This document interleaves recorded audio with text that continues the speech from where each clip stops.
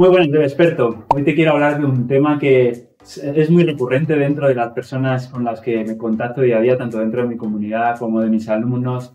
Y además eh, viene muy a colación sobre un tema del que quiero hablarte después, que es un training gratuito que hemos abierto ya y al que quiero invitarte. Pero si te interesa, quédate hasta el final porque primero quiero contarte un poco cuáles son las bases que hay detrás de ese training gratuito que he decidido crear y qué es lo que veo dentro de la comunidad tanto Android como desarrolladores en general en el día a día y cómo esto puede ayudarte a ti a catapultar tu eh, carrera como desarrollador o desarrollador.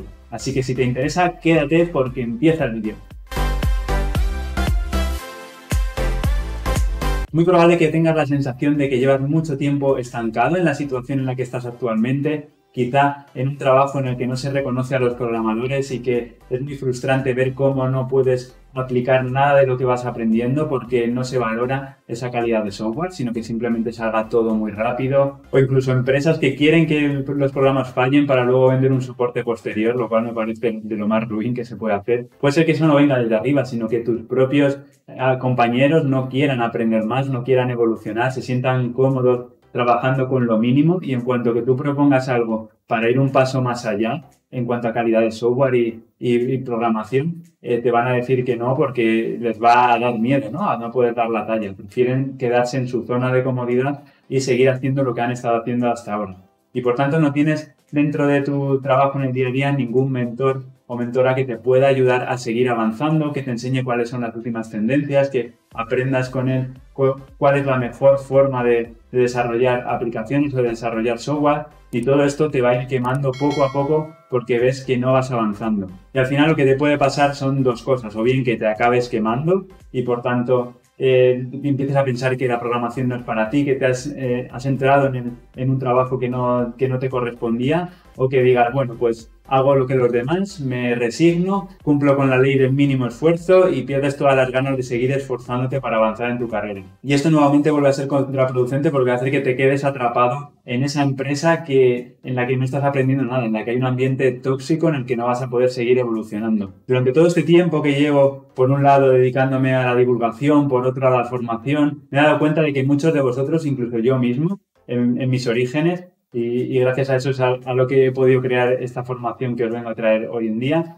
He descubierto que, que, todos pecamos un poco en el mismo punto y es que estamos poniendo el foco en, en, las energías en los lugares incorrectos. Y por tanto, por mucho que aprendemos y aprendemos, pensamos que estamos avanzando, pero la realidad es que todo eso, lo que le estamos dedicando tiempo, no nos ayuda a seguir evolucionando profesionalmente. lo único que nos sirve es a seguir agobiándonos porque no dejamos de ver cosas nuevas que salen en el día a día, novedades que surgen y todo eso lo único que hace es hacernos sentir peor y que, y que no, vamos, no estamos dando la talla como programadores y como profesionales. Pero vamos, que esto no es tu culpa, es culpa de de la industria, de lo rápido que avanza y diría más, incluso diría de los divulgadores, y en ellos me incluyo a mí mismo, en los que pecamos muchas veces de hablar de todas esas novedades, de todos esos objetos brillantes que luego tampoco nos aportan mucho valor en el día a día. ¿Y por qué hacemos eso? Porque hablar de esos temas es mucho más sencillo que hablar de lo que realmente importa, que son las las bases del diseño del software, del software de calidad. Todo eso requiere mucha experiencia, mucha prueba y error y sobre todo enfrentarte a que no hay una única respuesta buena para todo y que por tanto va a venir mucha gente a darte tu opinión y a plantearte que lo que tú estás proponiendo está mal. Y por tanto los divulgadores vamos a recibir más críticas con esos temas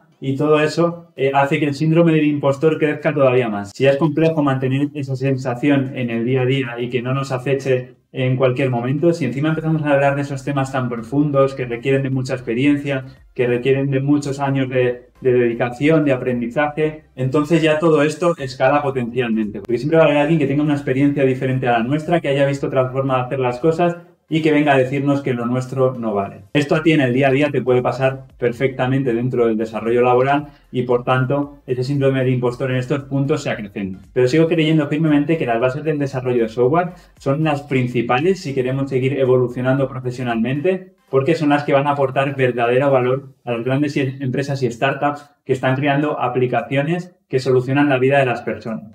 Ya quizá no estamos hablando de aplicaciones que pueden durar su desarrollo dos o tres meses, sino estas empresas de producto en las que su producto es la propia aplicación y de ellas depende que la empresa funcione o tenga que desaparecer. Así que es por eso que desde hace unos años he estado pensando cuál es la mejor forma de aportaros ese valor Y es por ello que decidí crear la Semana Coders. Es una semana de contenido totalmente gratuito donde te voy a hablar de todas esas claves que me han ayudado tanto a mí como a muchos de mis alumnos a evolucionar profesionalmente y conseguir las oportunidades laborales que se merecen. Vamos a romper mitos, a moldear creencias, a que de una vez por todas te quites ese miedo a no dar la talla y que al menos consigas mitigar ese estrés por intentar estar al día en un mundo que evoluciona tan rápido que es totalmente imposible hacerlo. Pero también nos vamos a meter en harina, veremos cuáles son las claves del desarrollo software de calidad, cómo crear código resiliente y cómo convertirnos en esos profesionales que demandan las grandes empresas y startups del sector. Y todo ello mientras creamos la mayor comunidad de desarrolladores de habla hispana que jamás se haya visto. A lo largo de esa semana y de todo el previo que vamos a tener, conocerás personas que tienen las mismas inquietudes y las mismas ilusiones que tú, que tienen muchas ganas de aportar valor al mundo con lo que más les gusta, que es programar. Vas a sentirte acompañado en el canal y el grupo de Telegram, en todas las sesiones en directo que vamos a ir haciendo. Voy a aportarte cada día contenido de valor para que salgas con una hoja de ruta clara para que puedas lograr todas esas metas que te propongas. Y por supuesto podrás acceder al contenido principal. Esa semana Coders con cuatro vídeos donde te enseñaré todo mi sistema para que puedas aplicarlo por ti mismo. Pero ya te digo que si te apuntas desde hoy, ya vamos a empezar a darte contenido. Vas a recibir algunos regalos solo por apuntarte y estaré encantado de que formes parte de esta gran comunidad. Si quieres aprovecharlo ya, apúntate aquí debajo y nos vemos muy pronto. Un abrazo de desperto.